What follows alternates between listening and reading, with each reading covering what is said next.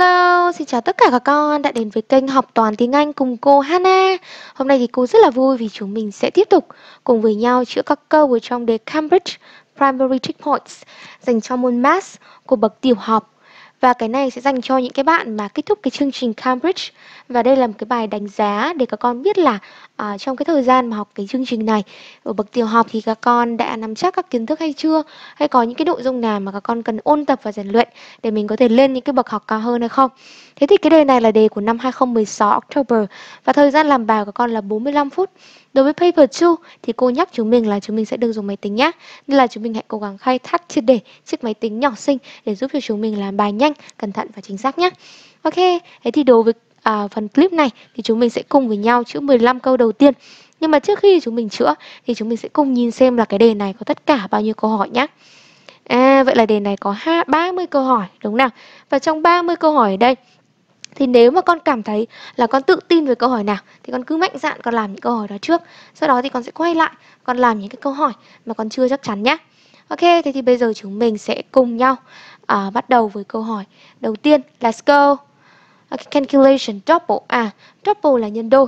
Đúng nào? Thế thì có nghĩa là chúng ta sẽ lấy 37 nhân 2. Vậy con có thể bấm máy tính cho nhanh cũng được. À, thì chúng mình sẽ bấm máy tính giúp cô.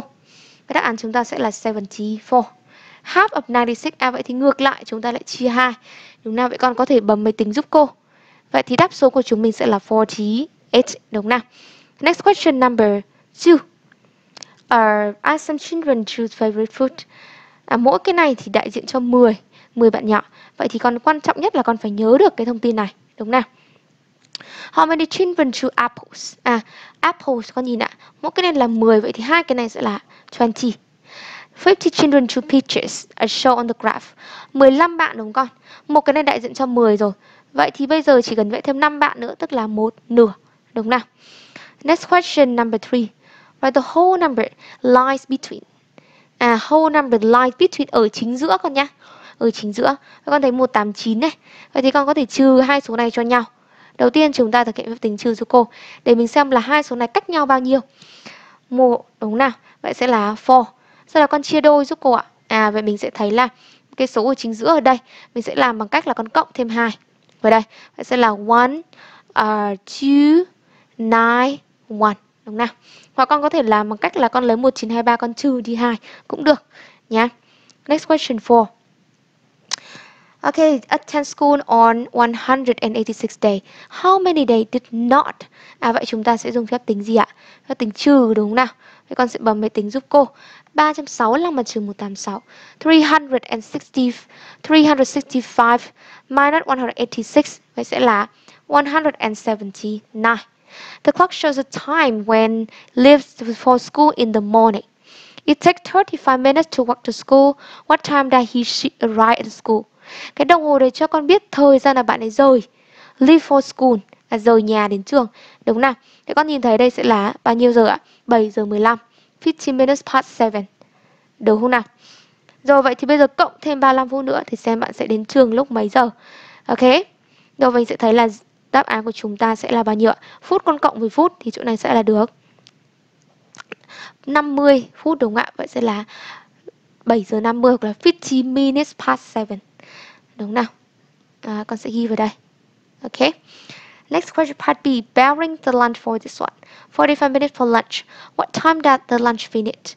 À, bắt đầu bữa trưa lúc này. Và bây giờ chúng ta sẽ cộng thêm 45 phút nữa. Đúng nào? Phút cộng phút thì chỗ này ta được 75. Tuy nhiên chúng ta không có 75 phút như thế này. Bắt buộc con phải đổi. Đúng không nào? 75 thì con sẽ tách được thành là 1 giờ tức là 60 phút và cộng thêm 15 phút. Vậy có nghĩa là 1 hour and 50 minutes. Đúng nào? Vậy thì nếu mà chúng mình cộng với 12, tức là chúng ta được 12 cộng 1 là 13 giờ và 15 phút, tức là 13 giờ 15. Vậy chúng mình sẽ ghi vào đây. Đúng nào? 30, 15, ok? 30, 15 minutes past 30. Next question 6. Number arrow points. Vậy thì A và B đại diện cho những số nào? Có thấy từ 0 đến 100 chúng ta chia làm mấy phần ạ? 5 phần vậy chứng tỏ mỗi phần là 20. Vậy thì đây sẽ là 80. Tiếp tục, mỗi phần là 20 vậy thì chỗ này sẽ là 220.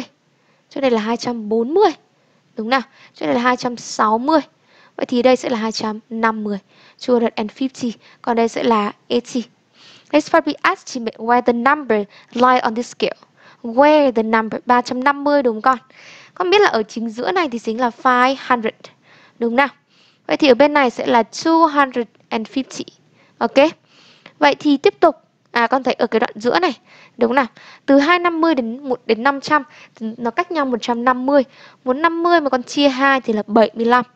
Đúng nào? Vậy nếu mình lấy 250 mà cộng 75 thì sẽ là bao nhiêu ạ? 250 con cộng 75. Đúng nào? Vậy thì nó sẽ là à, 325. Đúng nào? Đó. Mình sẽ bấm máy tính nhé. 250 mà con cộng với 75. Rồi, 325 ở đây. Vậy thì 350 nó sẽ ở phía trên này một tí đúng không ạ? Vậy chúng mình sẽ vẽ cái mũi tên ở cái vị trí đây, đây, đây. Rồi vẽ sẽ thấp xuống một tí nhá. Ừ. Gần với cái số này đúng không? Next question 7. The ring around the value of the two digits digit 2 in this number. Digit 2 với con thấy sẽ là gì ạ? Two tens. Tens này chứ không phải là cái ten này nhá. Ten TSS nhớ ạ. Next question 8. Five straight lines. Rồi người ta yêu cầu con là gì đấy ạ? The line 1 equal to in length in line 2 line da, da, da, parallel. Mình thấy là line mà parallel là hai cái line mà không bao giờ gặp nhau được. Vậy chính là 3 and 5. Line 5 perpendicular. À con thấy line 5 perpendicular tức là tạo ra một góc vuông, góc 90 độ. Vậy thì chứng tỏ là phải là line 4. Đúng nào? Next question 9. Missing number. À mình sẽ điền gì vào đây? Bên trái chúng ta hoàn toàn có thể tính được. Đúng nào? Vậy con lấy 13 nhân 100, sau đó con chia cho bên phải là 130. Vậy thì đáp án của chúng ta sẽ là 10.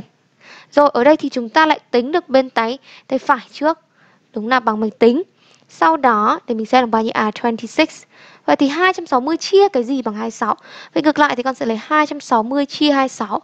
Vậy đáp án sẽ là 10. Đúng nào? Next question 10. Rồi, bên này mình cũng sẽ tính được bên phải trước. Cách thứ nhất là con có thể tính trực tiếp. Cách thứ hai mình thấy là hai số này giống nhau. Vậy thì chứng tỏ 6 sẽ được tách thành là 3 và 2. Next question 11.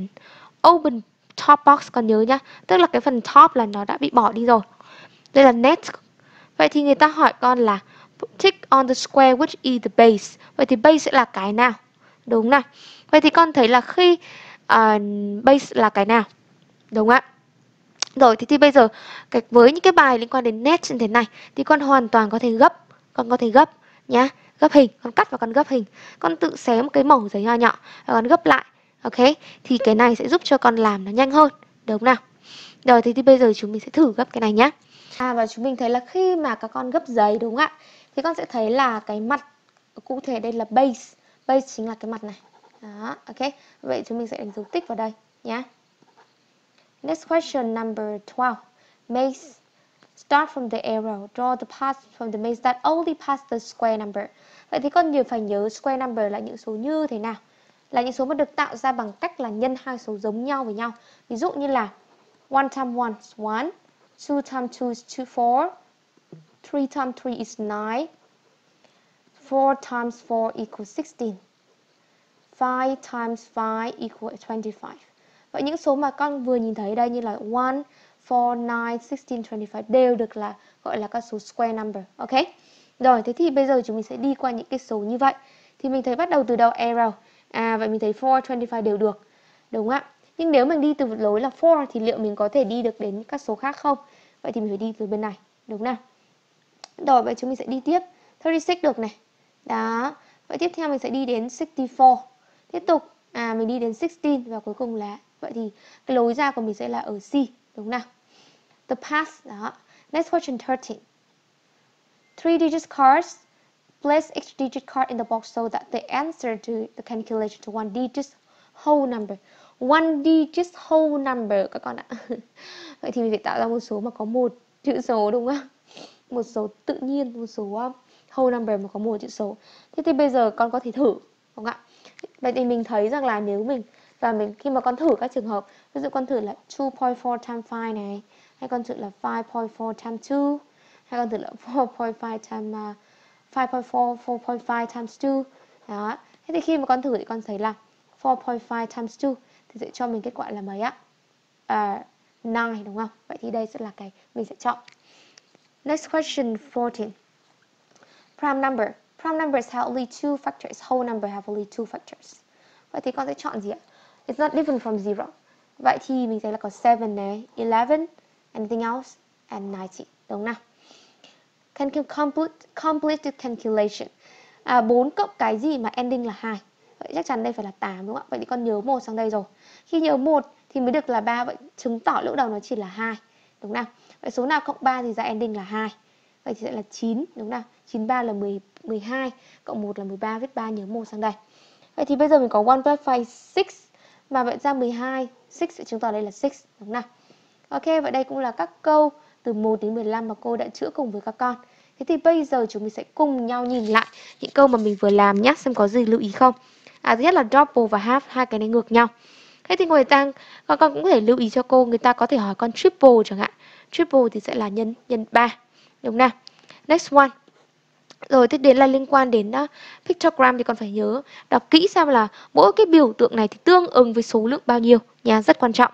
Tiếp đến là tìm diện between thì con sẽ lấy số cuối trừ số đầu, sau đó chia đôi và sau đó mình sẽ cộng thêm cái số đó để mình tìm được between là cái gì. Đọc thật kỹ nhá những cái từ mà người ta đã highlight cho các con. Rồi tiếp đến là gì ạ? Um, number line này liên quan đến number line này. Đó, thì mình phải biết biểu diễn và mình phải chia, mình chia thành các đoạn thì mỗi cái đoạn từng bao nhiêu. Rồi, next one, liên quan đến plus value này. Ok, cái này thì có hai cái từ quan trọng còn phải biết đó là parallel perpendicular. Vậy chúng mình đã nhớ về hai cái từ này hay chưa? Thế đấy là đến net đúng không ạ? Net of 3D shape này. Và với những cái bài như này thì cách cập hình là một cách rất là đơn giản các con có thể thực hiện dễ dàng. Square numbers chúng mình đã nhớ chưa? Thế nào là square number? Đúng nào? Rồi là prime numbers chúng mình đã nhớ như cái prime number chưa? Đó, ok. Thế thì trong 15 câu này thì các con cảm thấy là mình tự tin và làm tốt ở những câu nào? Hay có câu nào mà con cảm thấy mình chưa chắc chắn hay không? Ừ, cần cô thêm sự hỗ trợ từ cô. Thì hãy cho cô biết ở phần bình luận hoặc comment. Hoặc các con muốn làm cô làm thêm về nội dung nào thì có hãy cho cô biết nhé. Hoặc các con cũng có thể liên lạc với cô qua Facebook hoặc là email. Cảm ơn tất cả các con đã lắng nghe. Và bây giờ xin chào và hẹn gặp lại tất cả các con. Bye bye các con.